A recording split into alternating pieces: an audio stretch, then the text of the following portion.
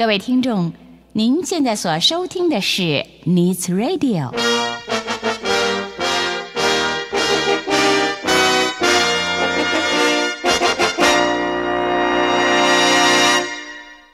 即将为您播出的是由永瑶制作主持的《健康大数据》。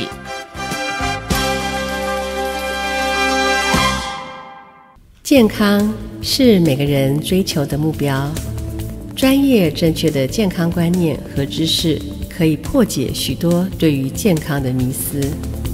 本节目为您邀访专家，深入浅出谈谈各种健康知识。欢迎收听王永尧主持的《健康大数据》。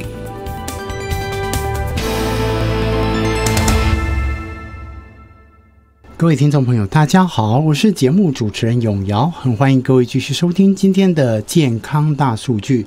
今天我们要还是跟您一起来关心健康的问题。今天我们要从呼吸开始，我想每一个人都要呼吸，而且你呃二十四小时，不管是您睡觉的时候、醒着的时候，都需要呼吸哈。那今天我会邀请我的今天的来宾跟大家来讲讲。呼吸这个大家很稀松平常，觉得没有什么的事情，但是大有学问呢。因为我今天所遇到的来宾叫 Fanny 哈，那 Fanny，呃，他呃，我们相遇是在某一个研讨会哦。这个研讨会哈叫做呼吸觉醒，不晓得您有没有呃呼吸的困难的问题哈？那这个呃一这个研讨会的过程呢，我呃遇到的这位呃今天的主持人，他呃 Fanny，他是在所谓的。一个很特别的公司，他主持的一个公司叫大千科技的材料的的这个团队里面，他们在研究呢。大大家前一两年都在抢的一个东西就是口罩。好，那不晓得你现在戴了口罩没，还是已经不戴口罩了哈？那我们今天要请菲尼来告诉我们，口罩到底有什么学问啊？跟呼吸又有什么关系？好，我们请呃菲妮跟大家来打招呼，而且介绍你的团队，而且。告诉我们这个团队为什么会呃成成立这样的团队？他想要提供给啊所有的来宾是什么样的呃产品类型？嗯，大家好，我是菲尼。今天很高兴可以跟大家来分享我们的产品口罩。那口罩其实啊，在疫情以前大家都不会注意到它，因为就觉得口罩就是一般的东西。但是因为经过了整个疫情，其实大家对口罩就比较有概念。但是大千呢，我们所做的科维利口罩啊，跟一般疫情中间大家在用的口罩其实不太一样。哦，那大千其实是成立于二零一六年，因为疫情是二零二零才开始的嘛。嗯，我们成立二零一六，所以人已经超前部署了。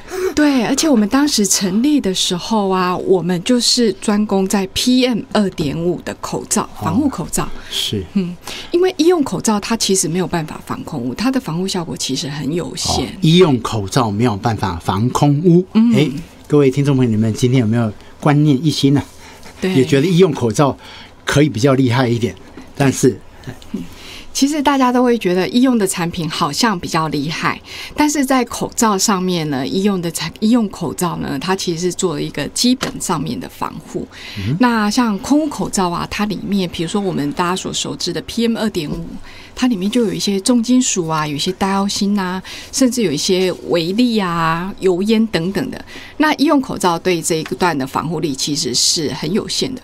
所以，如果大家回想到疫情以前，大家那时候讲到空污。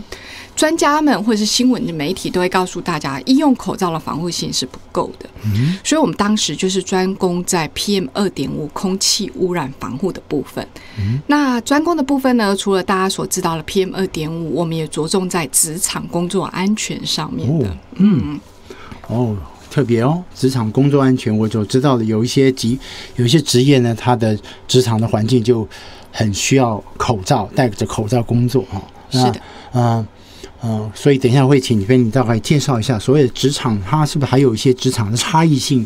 那我们先再一次回到，就说，呃，你们这样的大团队哦，科技团队、材料、科技材料，所以，呃，你们原来为为什么要切入呃所谓的 PM 二点五这样的高规格的这个材料，是因为你们原来的当中有什么样的人有这种核心技术，或者是说，嗯，因为有些人他创业是因为呃他没有核核心技术，或者是有些人创业呢，他是因为哎家人或者是说亲戚朋友遭遇到什么样的困难问题，他要解决那个问题，所以才慢慢创业。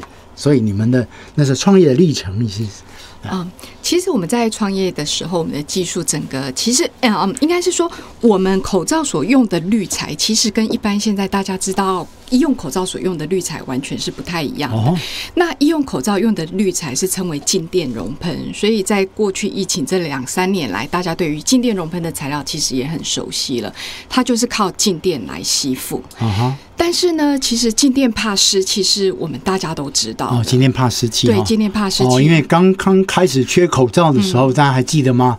就是有些人会用酒精这样喷一喷的，嗯。或者是那个啊、或者是有些人那时候还有说电锅蒸一蒸，对。好 结果那时候测试是不行的嘛哈。，对 OK 因为静电怕湿气，所以台湾很潮湿。第一个，你的口罩如果放在大气中，台湾的潮湿的湿度会让静电的慢慢消失。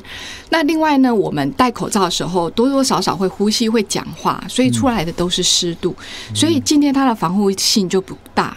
那这个静电它哪时候没有防护力的时候，其实我们也不知道。所以你戴的这个口罩有多少的防护性，其实都是未知的。那我们用的比较不一样的，我们就是用纳米薄膜。那纳米薄膜它比较简单的来看，我们就是用薄膜本身孔径的大小来跟外面 PM 二点五的大小来做比较。所以如果比它小的，我们就拦不住；比它大的，我们就可以全部把它拦下来。那以国际间在讲 PM 二点的防护，其实二点五的部分是二点五以下的粒子统称二点五。那国际间最严苛的粒子就是零点零七五，嗯嗯，我们都可以拦到差不多九十五至九十九 percent。哦，还有比率零点零七五，还可以拦到这么多，九十九九十几 percent。对，它的概念其实比较简单，它不是靠静电，那它是靠物理性来过滤。您就可以把它想象成，比如说我们在用金属的咖啡滤网在滤咖啡，那那个金属滤网呢，它其实是靠它的孔洞大小来跟咖啡粉来做比较。嗯，它的孔洞大小必须比咖啡粉小，所以它才可以把这些咖啡粉给挡住。嗯，那这个咖啡滤完之后呢，这个滤金属滤网呢，它其实可以水洗重复使用。嗯，但是呢，你滤网使用久了，可能多多少少还是会有一些咖啡粉塞在滤网的孔洞。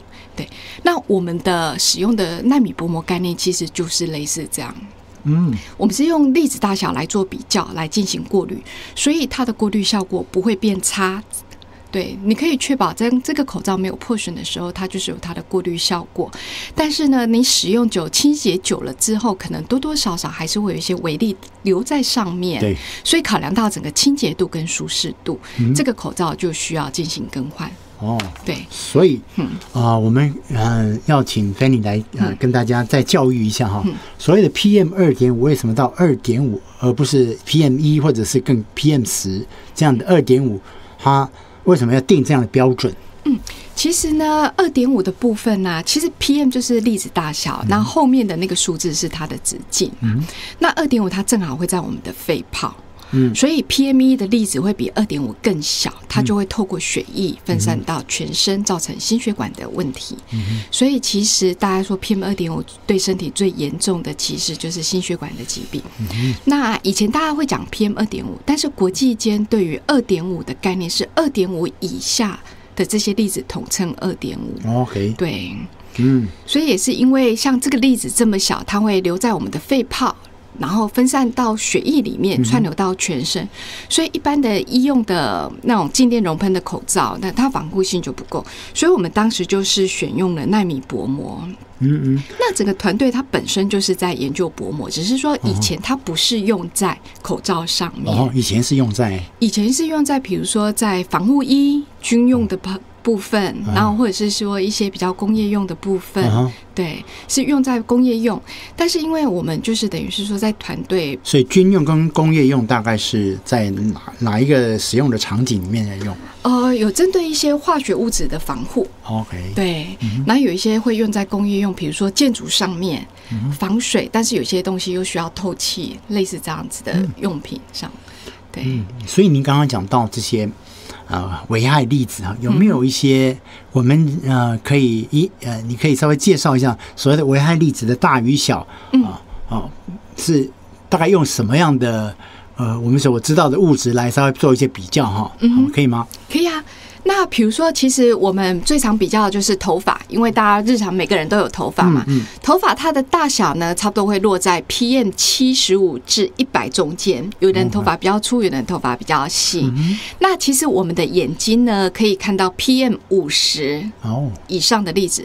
所以有时候啊，您在扫地，或者是说阳光一照，我们有时候在空气中都会看到一些微尘在飞。啊只要看得到的，其实都不可怕。哦是啊，那接下来更小的，因为眼睛可以看得到是五十。那比如说像花粉，现在樱花在开了，很多人就会开始有点过敏。啊那花粉大小差不多是 PM 二十左右，嗯那它会对我们造成上呼吸道的过敏，可是我们眼睛已经看不到。哦那再更小一点的，比如说大家有时候很多孩子或者是睡眠会遇到的尘螨，那尘螨包括它的排泄物，差不多就是 PM 十，那这些都是对我们会造成过敏，但是我们看不到。那业界里面还有在讲一个 PM 十，比如说像环保署他们会讲一个 PM 五啊 PM 十、那我们自己的鼻子鼻腔的部分，差不多可以防护到 PM 五至 PM 十的粒子。OK 对，鼻子对医用口罩差不多是防护到 PM 三的粒子，嗯哼。就是类似说我们针对大肠杆菌啊、黄金葡萄球菌，差不多就是 PM 三的例子。嗯但是真的对人体会有伤害的是二点五以下的这些粒子，哦。所以大家都会讲说 PM 二点五会伤害肺部、伤嗯害心血管。是。那二点五就是会沉积在我们肺泡。哇哦。那 PM 一呢又更小，它会透过我们的血液分散到全身，造成心血管的疾病。那 PM 一的例子有类似，比如说有一些研磨的粉尘啊，比如说精密加工。切削油的油雾，或者是一些研磨的小微粒。那甚至呢，我们在平常在家里煮饭的煮饭炒炸的油烟、哦。烧烤的烟雾，都差不多是 PM 零点一的粒子大小。嗯嗯那比较简单的，这是新冠的部分、c o v i d nineteen 它的病毒大小就差不多是 PM 零点一的这个部分。哦，嗯，这个这个跟呃有有一阵子大家大家讲什么气溶什么什么气溶胶。胶，还那个那个是。大小是？是差不多。气溶胶其实就是它是因为很轻很小，它会随着空气在飘散的部分，它就是比较称为气溶胶。那有一些像飞沫，飞沫它就是附着在唾液上面，对它因为粒子比较大而且比较重，所以比较不会在空气中飘散。嗯，那气溶胶就类似空气，所以对我们的影响会更大。嗯 OK。那你们的产品这么的高规格，还有一些您刚才所说的哈，在某一些产业上或者是呃做工作时候的运用，大概是哪几个方面呢？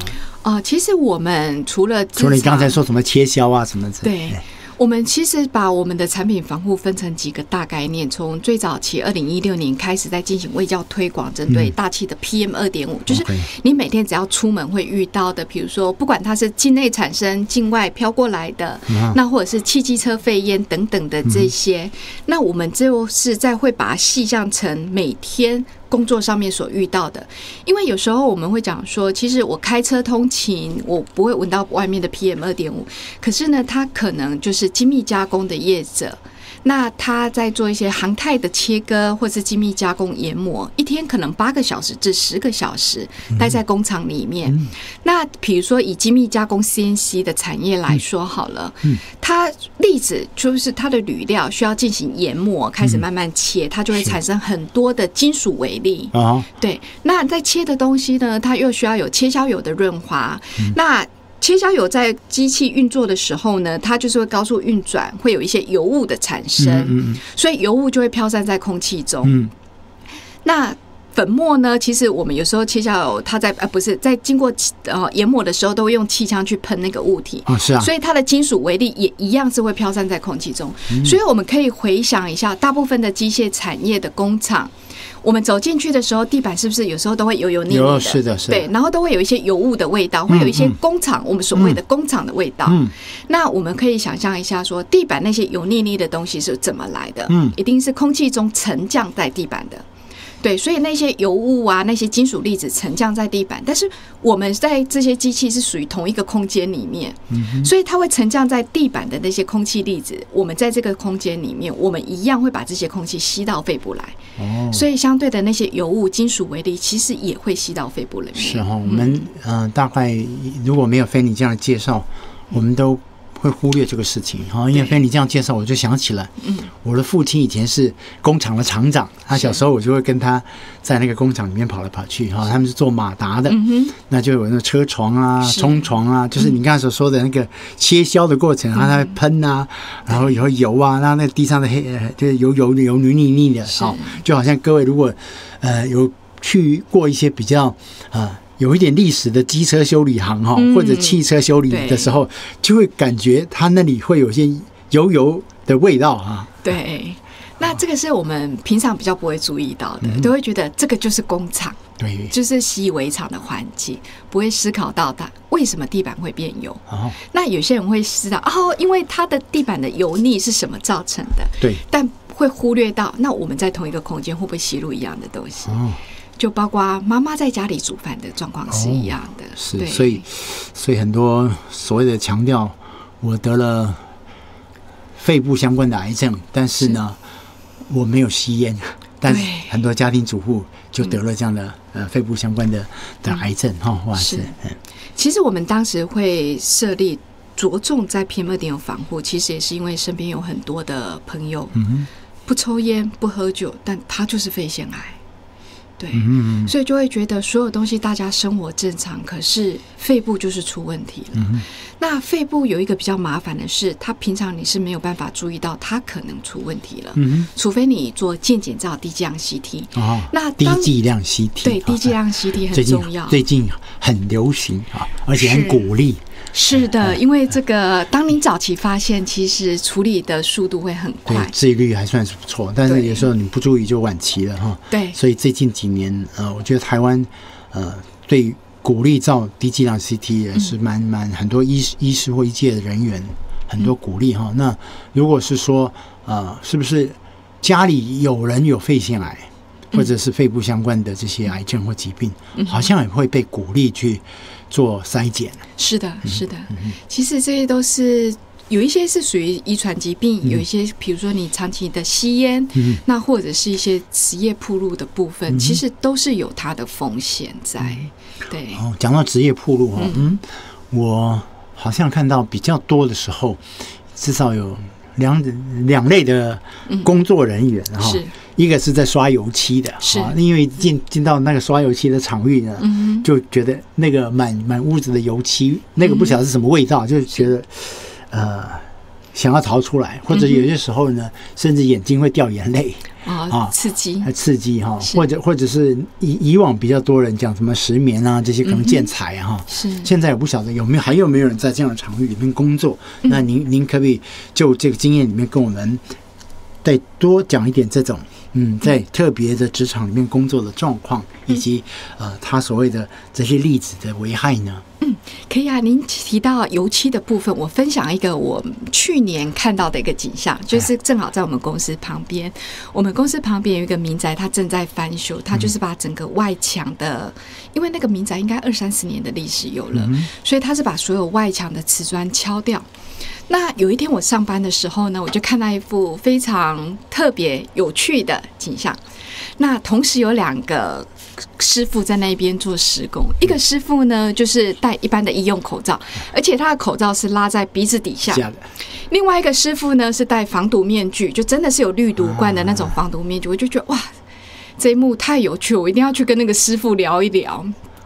那去聊了一下呢，其实我就问了那个戴防毒面具的那个师傅，他说：“诶，师傅你怎么有这种概念呢、那在这里这样施工，你为什么会想要戴这个防毒面具的口罩来保护自己？”他说：“因为他的师傅就是肺系，就是肺部生病了，职业伤害，肺部生病了，然后很年轻就过世了，所以他知道这个东西他职业上面对肺部的伤害，但是呢，他又没有办法。”因为这个就是他的专业，所以他必须以这个为工作，他就只能是保护自己。嗯那另外一个师傅呢，他就听一听就会觉得就笑一下，他说啊，就是基本上那种概念啊，一都是假戏啦，啊没有这么严重啦。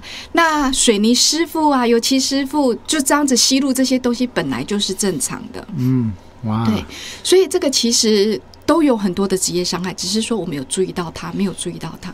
那虽然以油漆来看，现在很多人会讲说我的油漆是水性的，可是呢，如果您有特别注意到，一般的师傅他在刷油漆之前，他的墙壁一定要先打磨。，OK，对你墙壁一定要先打磨磨平，整修过之后是，它才会开始上漆。嗯所以当打磨啊，你的要求越高，要磨得越平的时候，它的纹理就会越越细哦，，对，那你水泥或是木板里面的所有东西，像早期可能会有一些石面的东西嗯等等的，你在打磨过程中，这些都会飞出来。嗯所以你可以看有一些打磨师傅，只要一离开这个场所，整身就是白白灰灰的。哎，是的，这些东西你如果没有戴一个口罩，它还是会被我们吸到肺部里面来。对对，对这些师傅真的嗯是，你看他上班跟下班的那个灰的程度不太一样。对，虽然他下班时候洗得干干净净，但那个灰的程度还是不太一样的哈。是。嗯，那我们会特别在推动这个职业安全防护的部分，是因为我们自己曾经，就包括我自己，曾经在工作上。对于那个产业，对于那个流程不够熟悉，所以很多的防护自己就不会去做到，所以我也造成自己生病过，因为呼吸的问题生病过。所以我们觉得，其实每个行业都有它的潜在风险在，但是我们必须了解这些风险，来保护好自己。那这也就是说，我们为什么一直在推动的这些职业安全的卫教，当他不知道风险，不懂得保护自己，那其实有时候很冤枉。但是当我们已经知道风险，选择保护自己或选择不保护自己，这就是个人的决定了。嗯，OK，好，各位听众朋友，你们决定怎么办呢？嗯，哦，要不要保护自己？而且保护自己的时候，选择的是呃美观啊、好看的口罩呢，还是啊、有真的有防护力的口罩？好，我们音乐之后要请 Fanny 继续来跟我们聊一聊天，健康呼吸。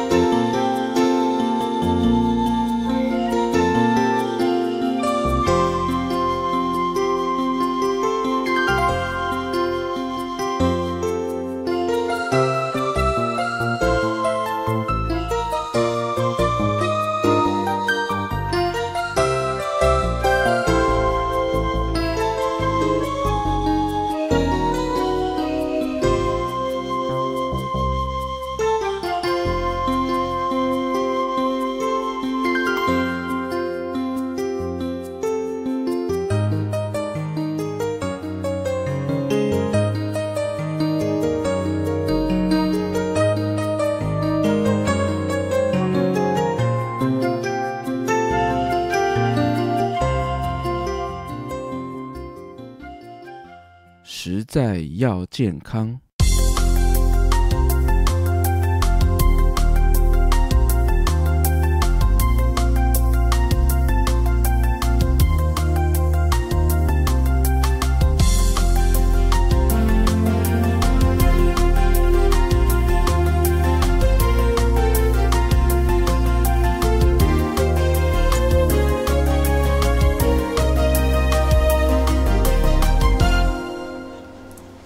大家好，我是大千科维利口罩的菲尼啊。健康其实对我们来说都很重要，那而且健康是需要我们用心去维护、累积的。那我们吃东西的时候，我们现在都会在意有没有重金属、有没有农药等等的。但是呢，在呼吸上面也不要忘了，有时候重金属跟一些毒素是我们从空气中吸进来的。那健康的部分呢，其实空气是一个很大的因素。那我们平常呢，也许我们比较没有办法。在短时间里面去改善在空气的品质，但是我们可以透过一些小小的习惯，让我们佩戴一些比较高品质一些口罩来保护自己的健康。哪些地方我们需要佩戴口罩呢？那比较简单的方法就是我们顺着身体的感觉走。如果您觉得这个味道您闻的不舒服，您觉得头会晕，然后这个环境你呼吸起来没有很安心的感觉，我们就会建议大家佩戴口罩。那口罩的部分呢？医用口罩对我们健康的防护其实比较有限。建议大家至少要佩戴 PM 二点五以上的口罩。那科威利口罩呢，就是 PM 二点五 A 级的防护口罩，它是通过台湾国家认证，还有欧盟 FFP2 的认证。那口罩呢，本身是用纳米薄膜所制成，所以它也可以水洗再使用。那产品除了保护我们自己的健康，科威利口罩它更是一个减塑的好产品，保护我们自己的呼吸，也保护环境。在呼吸呢，其实一个美学，我们可以透过小小戴口罩的习惯，让我们的生活，让我们的呼吸品质变得更好，身体更健康。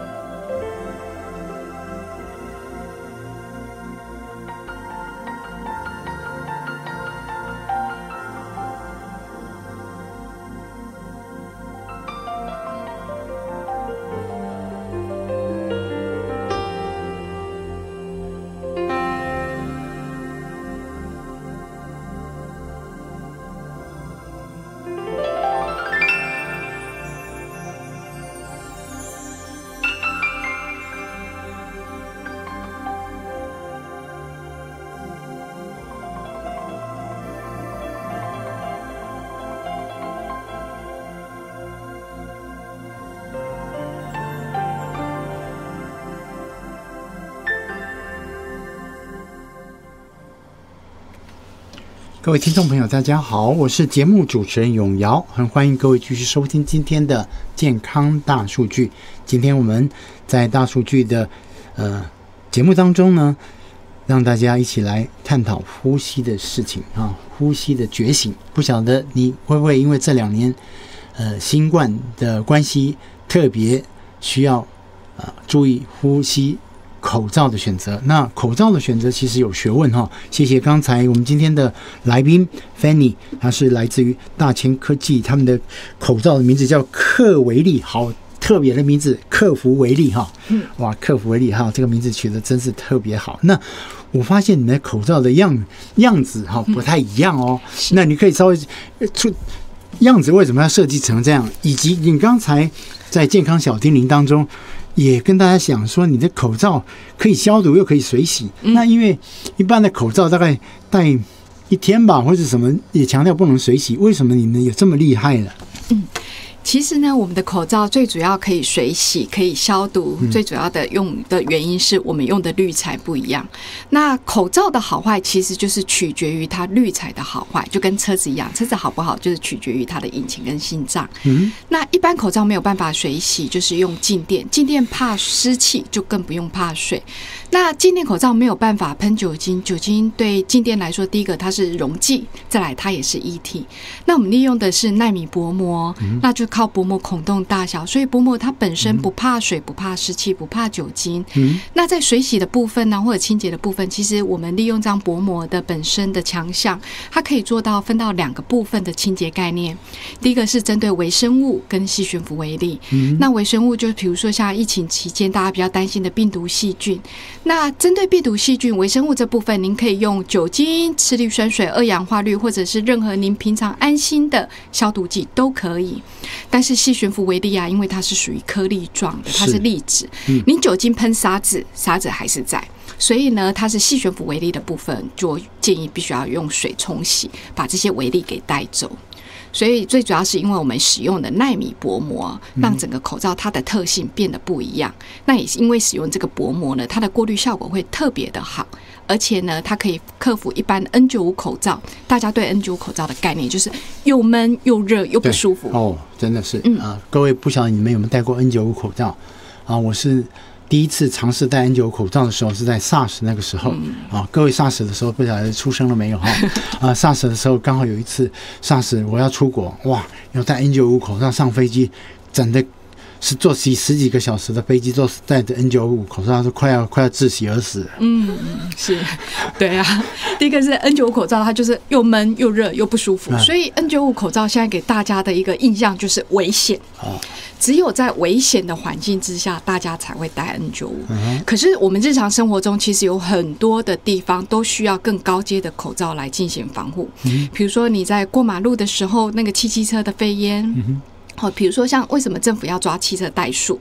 因为在怠速的时候，它所排放出来的污染量是平常的三至十倍。哦，对，那怠速是一个问题，所以你在过马路的时候，它那里的污染就高浓度。那你在工厂工作的时候，每天八个小时，甚至你是烧烤业者等等的，哦，那这些其实都是 N95 口罩才有办法，N95 等级以上才有办法防护的。哦对，所以我们要做的就是说，我们希望推动在呼吸安全这个状况，但是我们又要克服 N 九五所有的比大可以说会大家比较不喜欢的点，嗯就是它的外形不美观，嗯戴起来不舒适，又闷又紧。嗯所以我们口罩当时在设定的时候，我们就是把它设计成定位在精品美观。的日常防护性口罩，嗯所以我们特别重视口罩的美感。嗯比如说，所有的弧度呢，都是经过医师经过大数据去计算的。哦，这么厉害，所以你可以看我们鼻子的弧度好像也不一样。嗯，那是因为我们去计算了，比如说从鼻头一直到眼窝、这个角度差不多是几度，我们是靠人体工学的角度达到它的密合度。哦，那比如说像耳带打的位置，要打在哪一个地方，线往上拉提的时候，它才会密合。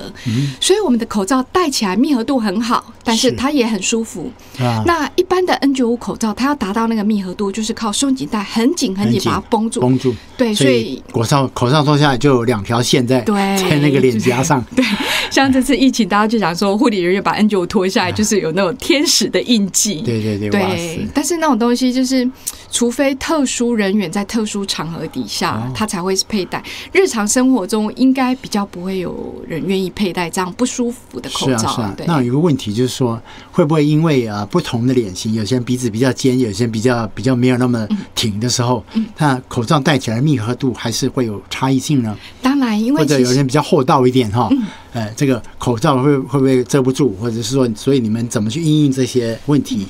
对，其实密合度就对于口罩来说很重要，所以每个人的身高、体重、体脂、脸型都不一样，所以我们的口罩总共有分了四个 size。哦，这是跟一般的比较 N95 口罩或 P95 口罩比较不一样，大部分它就是一个 size，靠着绷得很紧。那我们为了让它大家可以长时间佩戴，所以我们有四个 size 来辅助大家选择最适合自己的口罩。那如果您的脸型或者是体脂，你最近刚好变得比较瘦一点，那如果介于在两个 size 中间，我们也有搭配的垫片，哦，对，去做一些补强。哦，是哦，对，那比如说像我们垫片用到最，很多人的感觉是垫片可能是用在鼻子，因为你戴眼镜会起雾。可是呢，因为我们的密合度其实所有的曲线都是经过医师大数据去计算的。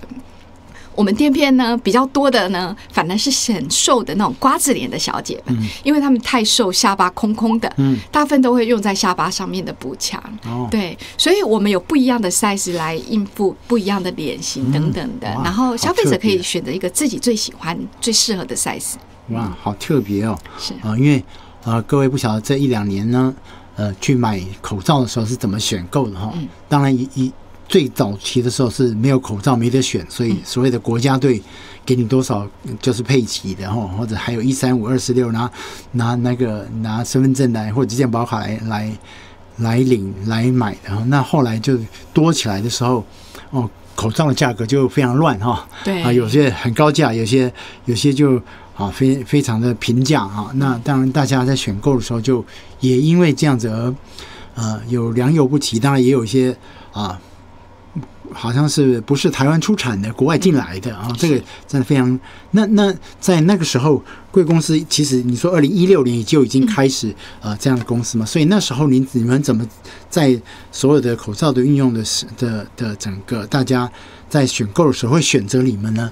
哎，其实我们公司呢，从一开始就是定位在我们只做高阶的防护口罩，因为其实公司当时设立的初衷就是身边有太多的朋友不烟不酒，因为肺腺癌，那我们本身也有薄膜的这个技术，所以我们要做的就是一个是真的可以保护到呼吸的口罩。嗯，所以等于是说，基本上在疫情期间的那种基本款的医用口罩，我们也都没有做。那这种高阶的防护口罩呢，其实消费者如果比较在意自己健康的，大部分大家都会选择我们的口罩。那除了基本的舒适度戴得住以外呢，它还可以水洗再使用，对环保上面也好。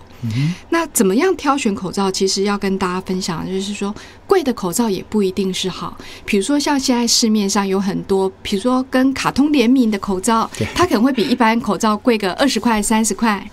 那戴，对 戴起来好看，或或者者是有有它特殊的喜欢，对，就是它的 IP 的部分。对对对那或者是说，他喜欢特别的颜色、特别的品牌，嗯但是他们的规格都一样，就是医用口罩。嗯但是因为搭配不一样的花色等等的感觉，好像从两块钱到二十块钱都有。那这个部分呢，其实我们会建议大家，其实还是要看它的功能性，它的规格到底到哪里。嗯对，并不是说一般医用口罩你有花色就变得防护效果比较好。嗯，所以还是以产品规格为重要的考量。那举个例来看，很多人都会想说，哎，那医用口罩跟活性炭口罩，感觉好像是活性炭口罩比较厉害。哦哈，对，对，但还有是黑黑的黑黑的神秘感，对，那但是其实呢，我们都会跟消费者跟我们的朋友讲说，那大家想想看啊，活性炭它是靠跟空气接触进行吸附，嗯这应该是大家都知道的概念。嗯，可是台湾的活性炭口罩有哪一个是真空包装？哦，还有真空包装，哎，对，当它没有真空包装的时候，表示它其实已经在跟空气接触接触进行吸附了。吸附了，那你买到的时候，它是否吸附饱和？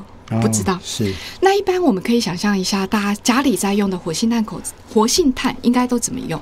都是放在角落，让它慢慢的吸附吸附一些水哈，嗯空气中的水，对但是呢，我们呼吸的这个气流的速度太快，一般活性炭口罩的它是来不及吸附的。OK，对，那再来是说活性炭粉怎么样粘着在不织布上面，它必须要有接着剂。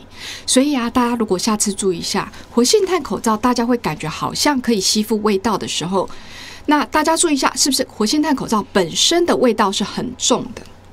它是哦靠本身很重的味道味道去压过外面的味道。哦，所以你可以看，你市面上活性炭口罩每一个一拆开来，它就一个很重的味道，啊但这个味道那个味道是本身活性炭本身，还是它为了制造它的特殊感觉，所以它加进去的那个味道呢？大部分是接着剂的味道哦比较多，所以您可以看，你如果家里有那种整支的常备炭，它其实你闻起来它是不会有味道的，就是家里在吸附的活性炭，原则上是不会有味道。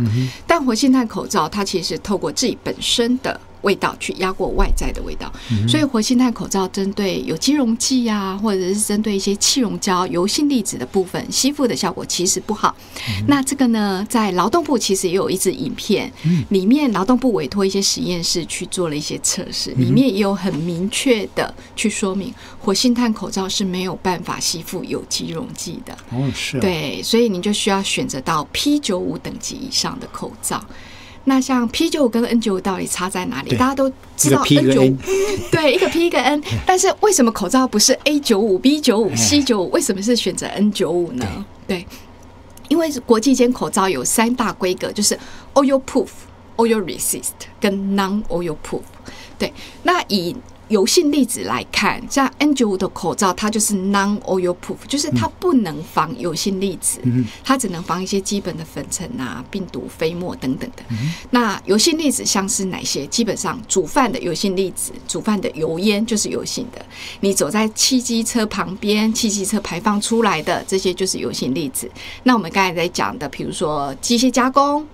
切削油就是油性粒子，甚至我们的、美甲去光油，哦，然后一些光疗、指甲油上面的所散发出来的这些粒子，都是油性粒子。哇，对，所以比如说像你如果是油漆师傅、精密加工的师傅，或是航太产业的这些个工作职人们，其实更需要的是 P 九五，就是 oil proof 的口罩，它才是真的有办法有效防止油烟的。甚至如果您是在烧烤店工作的朋友，在厨房油炸的，尤其是油炸啊或是快炒的这些朋友们，都需要试到 P 九五等级以上的口罩，才是真的有防护效果的。哇哦，嗯，所以这样子的话，在嗯，Fanny，你在你们在这个所谓的你刚刚举的这些职场上面，嗯你怎么去说服在原来可能没有在工作、没有在戴口罩的人的习惯，嗯。还是还原来戴别别的类型的口罩，怎么去说服他们，呃，来呃佩戴他们可以防护他们的口罩呢？那老实说很辛苦，因为这是一个观念上面的改变。那在这几年，从二零一六到现在，我们其实在很多的团体、很多的媒体，甚至我们的 FB 去做了很多的卫教。那这个是需要经过一个观念的改变，是要一直花很多很多时间的。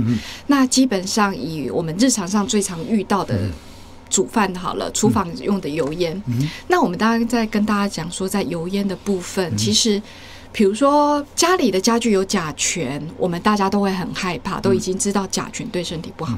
可是油烟里面其实也有很多很多的醛类，因为它对，就是经过高温的时候，比如说乙醛啊等等的这些，它有很多的醛类，对我们的身体其实也不好。啊。但是当我们在跟大家沟通在油烟防护这一块呢，其实大家就会讲说啊，我奶奶煮了一辈子也是这样，那煮饭很热，没有人在戴口罩等等的，所以这个就是需要很多时间一而再再而三的去喂教。嗯，那我们发现有一群的朋友很容易就可以接受了。哪一群朋友呢？家人是有人生病了，或朋友有人肺部生病了。嗯，当真的自己身边有朋友生病的时候，大家才会重视到，好像呼吸这一块真的是很重要。嗯，对，所以我们就是虽然很难去说服，但是我们还是这样一而再再而三去一直讲。那像上个礼拜，我们有朋友就是有刚好有客人来场内，你们怎么样用就用说的之外，有有什么演示的那种嗯方式呢？哦，有非常多。其实我们在这个职业安全上面，我们有投入很多的研究。那比如说，我们跟交通大学的环工所都有长期的合约，所以我们也在那边。就像我刚才所讲的，活性炭的口罩它是没有办法吸附味道的，依照我们呼吸这个速度。那这个我们都是有委托交通大学环工所去帮我们进行测试。那甚至你的通勤组，我们走在路上，大家都知道戴奥星有毒。可是日常生活中，其实有很多的大药星，比如说柴油车，嗯所排放出来的就有大药性。你的重机械加工，只要是用到柴油，都有大药性等等的这些。所以我们在有这个在推动职业安全里面，我们有非常多的卫教影片。比如说，我们会有一些牙医师的日常生活，牙医的工作，我们都觉得医生工作应该是污染很少。对啊，但其实医生你在帮你磨假牙，在帮你补牙齿的那些树脂，一个伤肺，一个伤肝，哦，就会就在这个产业所遇到的问题，我们就会把它拍成一支影片。那透过这支影片去提醒大家，哎，你的工作生活中可能会有哪些问题？那以美甲师来看好了，哦，最近美甲，我觉得嗯各位听众朋友不晓得有没有观察哈，我做捷运的时候发现。旁边美丽的小姐的，美甲越来越多啊！对，哦，年轻的女生哇，这个美甲，不管是有些时候啊、呃连连呃照顾我们长辈的外佣，诶，也很多美甲喽。这真真的是觉得这个是不得不可挡的趋势。有有发现有朋友还专门以做美甲为职业，哇，嗯真的是不得了啊！对，其实美甲我们想哦，它在磨指甲的时候要磨得越细致，它的粉末就必须要越小。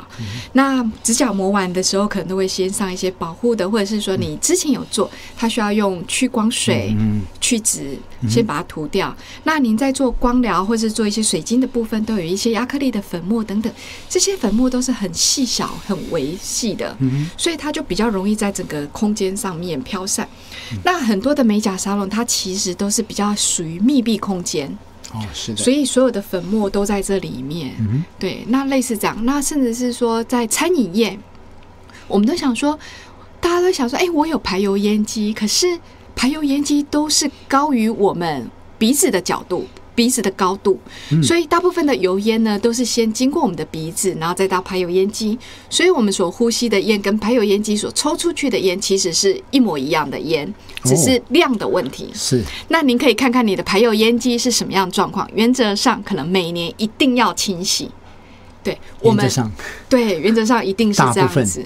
嗯，不一定有清洗，除了对过年的时候啊，对，但是它一定会有累积。那我们呼吸着一样的烟，所以我们的肺部其实也是会变成这样子。嗯，那家庭主妇可能它的量比较少，但是你如果是说厨师，好，或者是烧烤，或者是说小吃摊等等的，他每天可能超过八个小时的工作，就是高浓度的在吸入这些油烟的部分，对身体其实都一个都是很大的伤害。OK，哇，好特别哦。那因为这个是真的是在工作里面哈，大家也不用想想象说你是在特别工作、特别场域的工作。其实，虽然你刚才所说的哈，家庭主妇或者不一定主妇，喜欢煮菜的男生哈，或者是呃有些呃饭店的大厨，他们每天啊啊或者小吃店的老板每天都暴露在或者夜市的老板，每天就是暴露在这样子的高这个微粒子的有害的物物质的是的微粒子的工作场域里面，所以真是到处可见呢，吼！对啊，哇哇，真是特别。油烟的伤害啊，我们回想一下，因为清明节快到了，大家都要记住。我们可以回想一下，以前妈妈们是不是每次煮完呢，都跟大家讲说：“你们先吃，我还不饿。哎”我们以前的概念就是说，哎，妈妈应该是厨房很热哎，所以她不饿，因为太热了。所以现在大家都在厨房有加冷气。啊，可是这种状况并没有改善。我们跟交通大学研究合作研究之后，发现原来妈妈不饿是一种副作用。哦，是啊，因为你吸入过多的油烟，它会造成身体的恶心不舒服，哦，所以您就会觉得不饿。对，糟糕了。那我的太太通常帮忙煮饭之后，嗯，她的第一句话就是：“真的，我不饿，你们先吃。”怎么办？这就是它的副作用了。对，这个其实就是吸入过多的油烟。那像我们以空气品质来看好了，现在的新闻啊，如果当天的空气品质是橘色警戒，差不多就一定是头条。哦，红色警戒一定是头条。可是您知道早餐呐、您只要用油煎一颗蛋，它的空气品质就是紫爆。哇，只有煎蛋哦，所以如果您炒菜啊，或是炒肉啊，那个都是指数都是到九九九真的，PM 二点五侦测器已经爆表了。是是，所以所以你们怎么去呃，从什么样的实验里面去去侦测，或者跟谁合作，还是你们公司就有这样的实验室去、去侦测这些您刚才所上当讲讲的这些场景呢？是，其实 PM 二点五侦测啊，因为它的浓度很高，比如说像油烟，如果一般民众他大致上自己家里有 PM 二点五的侦测器，你只要开始煮饭哦。一般现在大家空气清净机里面大部分都可以有侦测的功能，您可以试试看，只要一煮饭，你的 P 那个空气侦测器基本上就是亮红灯。哦，对，那这是属于一些比较基本的侦测方法。那我们也有跟交大环工所那边去做针对油烟这些油烟微粒的过滤。啊，对，我们的口罩薄膜可以过滤到多少 percent 的油烟粒子，都是可以过滤到九十五帕以上的。那您可以今天煮完饭之后呢，你就透过水洗，用温热的水去水洗它，然后晾干，明天就可以再使用。所以我们现在也一直在推动职业防护，尤其是妈妈们煮饭也要戴口罩。那像餐饮的部分呢，以前大家比较戴口罩是为了后端，比如说我们在跟消费者接触的对时候，，我在夹炸夹夹菜的时候，对，不在夹菜，我是怕口口水水分进去的卫生安全。哎。但我们现在一直在推动的是前端的，你油烟吸入的那些卫生安全，嗯。对身体上面的健康。哇，好特别哈、嗯，嗯，真的是。所以在日常生活中，因为呃现在是春夏之际哈，是。百花盛开，嗯哼。是不是您在口罩的这些推广的过程，是。有特别对哪一些族群或对象，特别对呃百花盛开的，你说花粉嗯。或者是、呃相关的这些呃有做什么样的卫教，或者是帮助用用这样的口罩去帮助这些人？哦？其实我们卫教一年四季都在做，而且我们的卫教是分产业别在做。对，比如说像卢卡斯，你没有煮饭，所以我一直在讲油烟，您可能就会比较无感。但是我少少的煮饭，我对也会煎蛋，对也会煎蛋，也会煎葱油饼，对，但是煮饭比较少，比较少。但是我如果加热。嗯，但是如果跟您的产业比较有相关的，我就是说列表机的问题，您可能马上就会很有感。对对对，所以我们在针对味教的时候，像最近花粉的部分，我们也会特别去针对花粉。那除此以外，我们会针对不同的产业别，会一直去提醒他们那个产业所需要的部分。那比如说，我们刚才有提到 CNC 加工，那还有一个就是，比如说像电焊、焊接工作，焊接除了那个那个亮亮亮之外，会伤眼睛之外，还还会还会跟呼吸有相关，我倒是不知道。嗯，以其实前我看焊接都要装一个镜子，然后焊接，然后看它亮的，对，我们回想一怕被，那个那个那个亮亮的东西喷火喷到，然后痛这样。对，其实我们可以想象一下哈，就是开始回想一下，大家在焊接的时候，因为它会有火花，所以护目镜是标准的，嗯对对对大家一定都会。那我们再继续回想那个画面，在焊接的时候，是不是呲呲呲，对它就会有很多的烟上来，啊，是那些烟里面全部都是有毒的气体跟微粒，而且那个很毒。对，所以等于是说，其实大部分大家对于防护的概念都一知半解。他知道眼睛需要防护，可是因为他的焊接，他需要拿护目镜，他跟焊接的那个点其实很近，近。对，所以他也很容易就把那些的金属微粒跟有毒气体直接吸到肺部里面来，对，所以我们就会特别针对不同的产业去做不一样的领域的卫教。哦，太棒了。嘛！嗯，所以所以这样的卫教要非常辛苦，而且好像如果没有没有热忱的话，一下子就会被打败的感觉。真的，因为卫教多久会有用都不知道，只能是是一而再再而三，是一直啊讲一直讲。是，嗯那那对学校里面的呃学生呢，有有有怎么做什么样的事情吗？有啊，当然从学校里面是最容易去做卫教，尤其对国小生。那像我们对国小生的卫教，他们不煮菜啊，你们卫教有用吗？但是他可以回去影响妈妈。哦，是啊，对，像我自己的小孩，基本上他就是有异位性皮肤炎，又有过敏，所以很明显的是，只要当天空气品质不好，他整个过敏就会开始发作。所以基本上以小朋友来说，我们基本上就会教他是什么是 PM 二点五，然后生活中有哪一些的东西可能会是空气污染。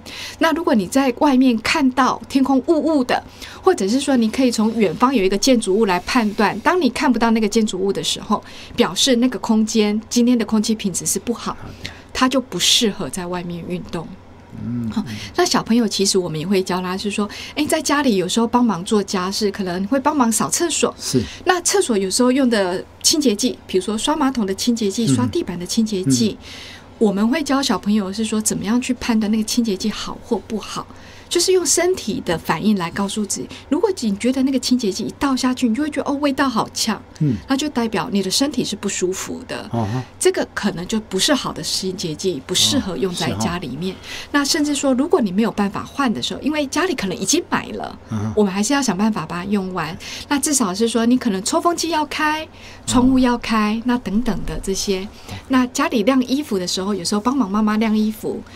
阴天的时候没有办法，可能全程开除湿机，那有时候开除湿机又晾不干，那我们应该在什么的状况之下？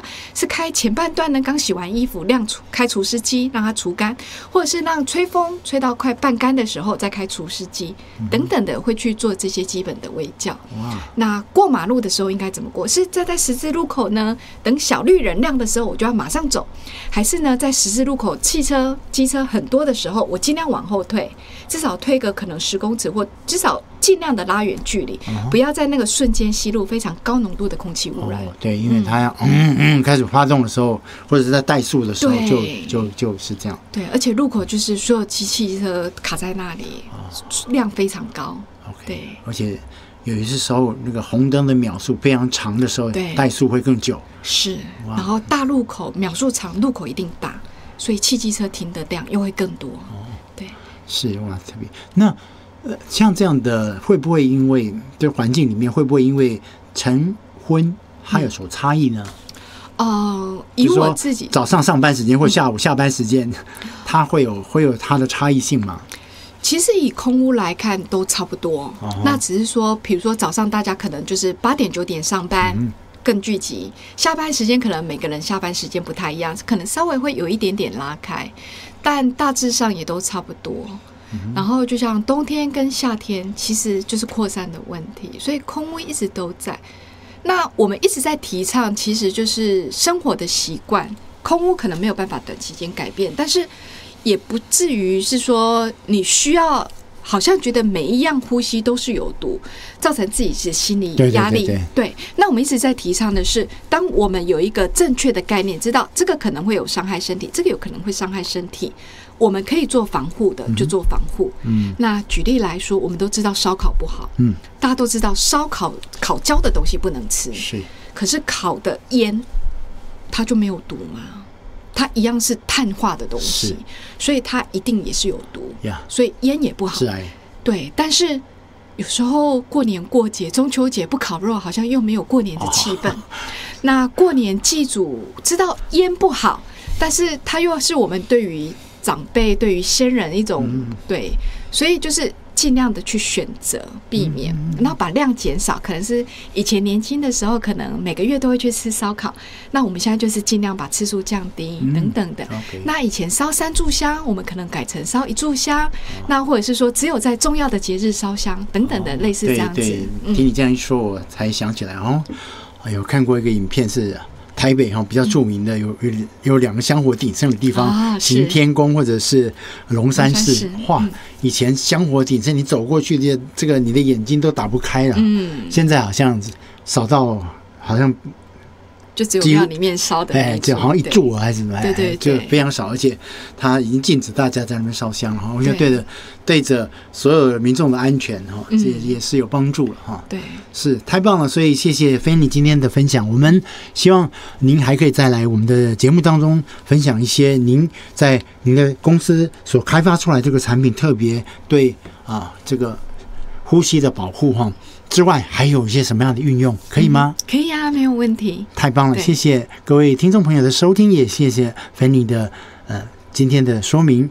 大家可以对各位你们周遭的环境里面的有害粒子更多的呃认识，以及如何选择一个、呃又有美美感的口罩哈，而且可以有真正的保护力的口罩，以及啊、今天芬妮也介绍一个可以水洗哈 对口罩啊，可以可以水洗可以重复使用的口罩，哎，特别好，谢谢菲妮。谢谢。